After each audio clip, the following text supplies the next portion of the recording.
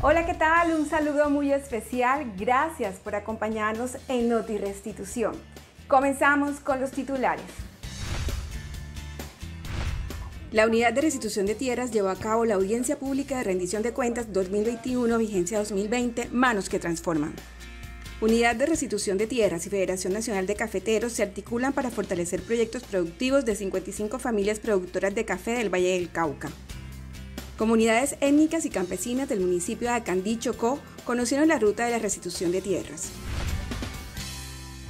Desde el predio de la beneficiaria Claribel Galeano en San Carlos, Antioquia, el director general de la Unidad de Restitución de Tierras y la subdirectora Marcela Morales presidieron la audiencia pública de rendición de cuentas 2021, vigencia 2020, Manos que Transforman.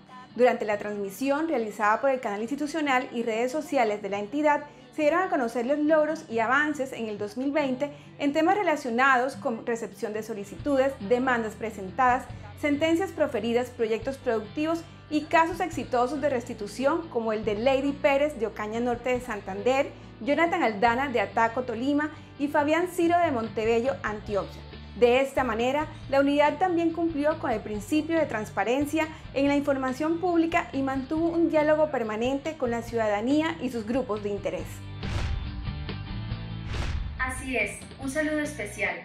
Paz con Legalidad es la firma del acuerdo de cooperación entre la Unidad de Restitución de Tierras y la Federación Nacional de Cafeteros, quienes con el apoyo de la Consejería para la Estabilización, en cabeza del consejero presidencial Emilio Archila, fortalecerán los proyectos productivos de 55 familias cafeteras del Valle del Cauca con el propósito de mejorar la calidad y productividad con miras a la exportación de su café.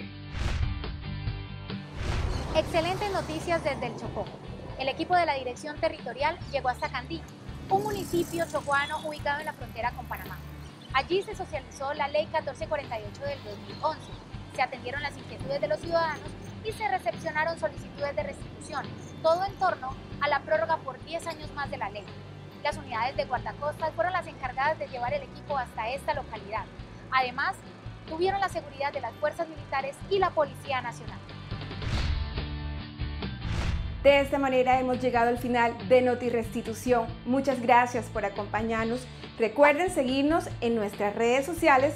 Nos vemos en la próxima emisión. Hasta pronto.